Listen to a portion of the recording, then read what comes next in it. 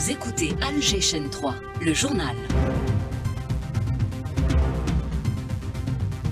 Walid Selman, bonjour. Bonjour Hakimaï, mesdames, messieurs, bonjour. Au sommaire de la matinale de ce lundi 8 janvier, le Conseil des ministres, il s'est tenu hier sous la présidence du chef de l'État. Coopération militaire algéro-allemande à la faveur de la visite du directeur petit commissaire fédéral allemand de la défense à Alger. Les nouvelles du temps, avec un ciel particulièrement généreux, un temps propice aux coups de froid et autres maladies. Activité politique, les avancées enregistrées depuis 4 ans soulevées lors de la deuxième session du comité central du FLN. On reviendra également dans cette édition sur les perspectives du Forum international du gaz prévu à la fin février à Alger. La prétendue candidature du Maroc pour la présidence du comité des droits de l'homme de l'ONU qui provoque une levée de boucliers et puis aucun répit dans l'entreprise génocidaire sioniste en Palestine. Parmi les martyrs de ces dernières 24 heures, deux journalistes, dont le fils de Wael Dahdoh, journaliste palestinien, déjà endeuillé. Et puis il y aura du sport avec le tirage au sort des 32e de finale de la Coupe d'Algérie avec une très belle affiche. Shabab de Belouizdad, JS Kabili. Et pour commencer, on revient avec vous, Selman, sur les points essentiels du Conseil des ministres. Il s'est tenu hier. À forte connotation économique, Hakim accélérer la réalisation de la raffinerie de Hassim Saoud, récupérer les terrains dans le pourtour du complexe Al-Hajjar, l'auto-entrepreneuriat, une option qui a besoin de plus de médiatisation des instructions du président de la République pour le partenariat public-privé. La copie doit être enrichie. Autre orientation du chef de l'État, Sofiane Saouli. D'abord, cette décision du président de la République de reporter l'examen du projet de loi sur le partenariat public-privé, report pour approfondissement et enrichissement. S'agissant de la relance du dispositif de l'auto-entrepreneuriat, le président Tebboune a souligné la nécessité de veiller à ce qu'il n'y ait pas d'enchevêtrement entre les métiers de l'entrepreneuriat et certains métiers artisanaux pour que ces derniers ne soient pas impactés.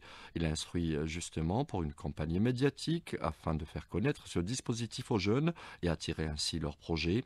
Les auto-entrepreneurs assujettis à un régime fiscal préférentiel dans la présente loi de finances, la loi 2024. À propos du projet de la nouvelle raffinerie de pétrole à Hassim Saoud, le président de la République a ordonné l'accélération de la cadence de sa réalisation de par son importance économique. Il a souligné que l'Algérie a tourné la page de l'ère de l'importation de tout type d'essence ces quatre dernières années. Elle doit à présent s'orienter vers l'exportation. Question foncier industriel, le président Tebboune a ordonné au ministre de l'Industrie et de la Production pharmaceutique de superviser l'opération de récupération du foncier industriel dans le pourtour du complexe sidérurgique de l'Hajjara al-Naba et l'orienter vers l'investissement sous forme de concession cessible après finalisation du projet. Et puis ces mesures prises pour contrôler la disponibilité des produits de large consommation, le président de la République instruit pour la création de laboratoires d'analyse au niveau des ports et aéroports afin de veiller au respect des normes sanitaires lors de l'importation de viande et des produits alimentaires. On retiendra que le ministre de l'Enseignement supérieur a été instruit par le président de la République à propos de la situation des étudiants palestiniens en Algérie pour leur prise en charge immédiate après interruption des contacts entre ces derniers et leurs proches dans les territoires palestiniens occupés. Et nous vous disions le président de la République a ordonné le report du projet de loi portant partenariat public-privé pour approfondissement et enrichissement. Le projet de texte viendra officialiser, encadrer le nouveau mode de gestion du service public. Plus de détails avec Mahfoud Kaoubi, expert en économie. Le PPP se propose comme un moyen que euh, la sphère privée met à la disposition de l'État et de ses entités pour euh, améliorer et rationaliser la dépense relative à la réalisation de grands projets et de services publics, ce qui permet in fine euh, une euh, efficacité nettement meilleure et une efficience euh, en matière de réalisation et de gestion de deniers publics voilà ce que nous pouvions dire concernant les directives et orientations données par le président de la République lors du Conseil des ministres tenu hier. Autre temps fort de l'actualité, la coopération militaire algéro-allemande. À la faveur de cette visite en Algérie du directeur politique et conseiller à la politique étrangère et de sécurité auprès du ministre allemand de la Défense, Gasper Wick, qui a été reçu hier par le chef d'état-major de l'ANP, le général d'armée Saïd Chengriha, qui s'est exprimé lors d'une rencontre d'ailleurs sur les perspectives de la coopération militaire bilatérale. Il a évoqué également les défis sécuritaires dans le monde particulièrement dans le bassin méditerranéen et en Afrique, et échanger les points de vue sur les questions d'actualité. Pour Saïd Chengriha, cette visite reflète l'ambition des deux pays à développer davantage leur coopération. Votre visite reflète la volonté de nos deux pays à consolider davantage nos liens de coopération bilatérale et à examiner les voies et moyens de son renforcement pour la hisser à la hauteur de la qualité des relations entre l'Algérie et la Fédération d'Allemagne. À ce titre, nous sommes totalement convaincus que notre rencontre sera fructueuse et ouvrira de nouvelles perspectives de coopération dans les domaines de la sécurité et de la défense. Le chef d'état-major de l'ANP, le général d'armée, Saïd Chengriha. Des pluies un peu tardives, certes, Walid Selman, mais un ciel généreux et des euh, averses bienvenues. Euh, pluie euh, abondante et poudreuse qui a sévi.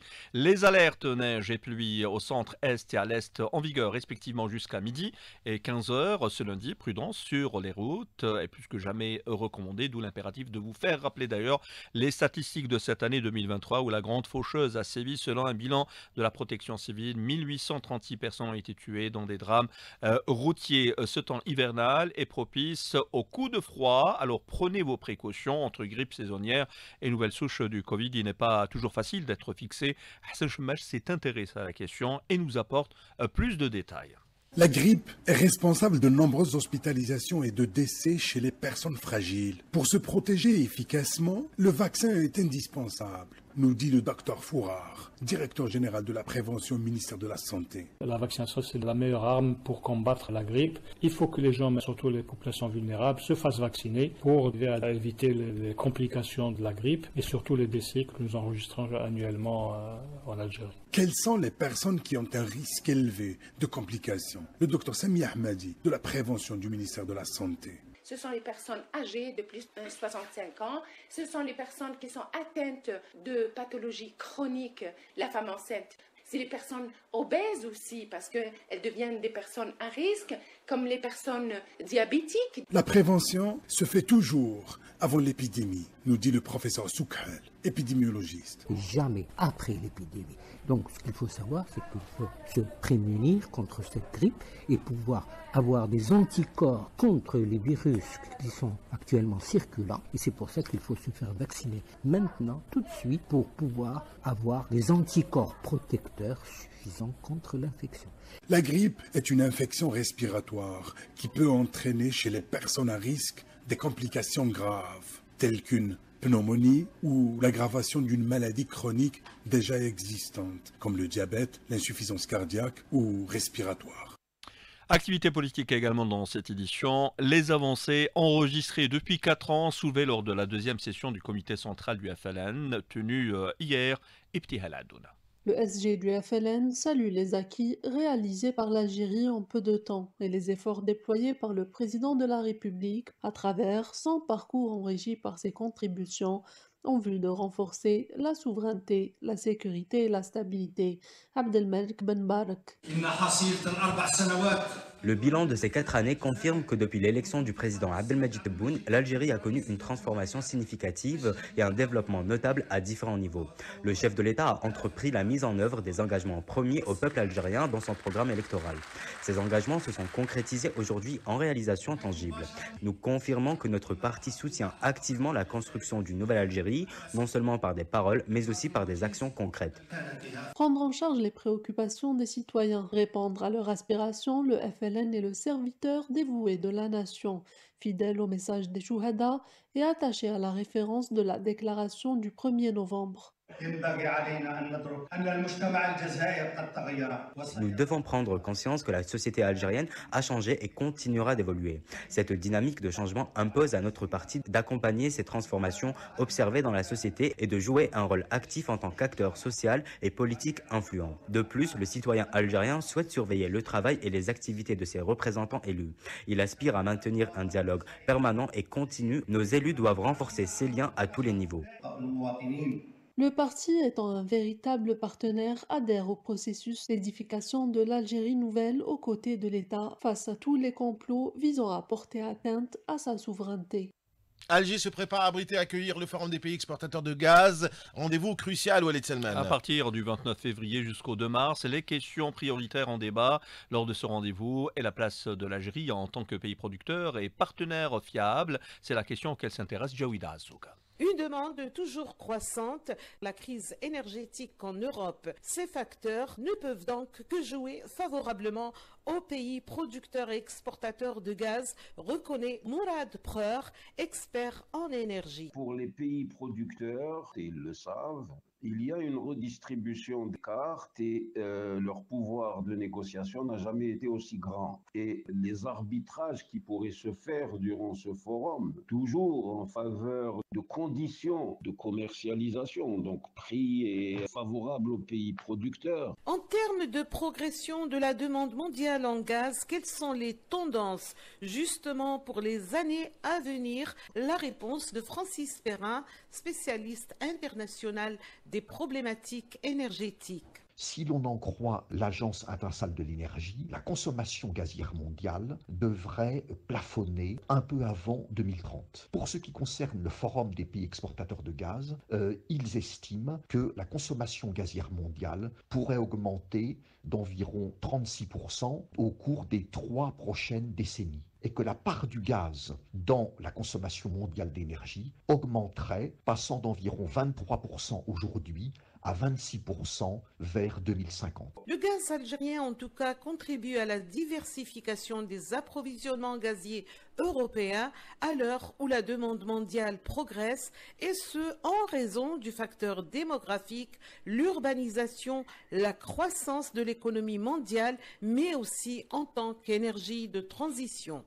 L'actualité internationale est toujours marquée par ce génocide contre Gaza qui est entré dans son quatrième mois et c'est son répit que l'armée sioniste continue de bombarder des populations civiles en même temps que des journalistes, Linda Babsa. Ce génocide a fait 29 722 martyrs parmi les populations civiles. Hier, une frappe aérienne israélienne a encore une fois ciblé deux journalistes palestiniens à Rafah, Mustafa Thuraya, correspondant de l'AFP, et Hamza El Dahdouh, journaliste de la chaîne Al Jazeera, comme son père, bombardé alors qu'il circulait en voiture.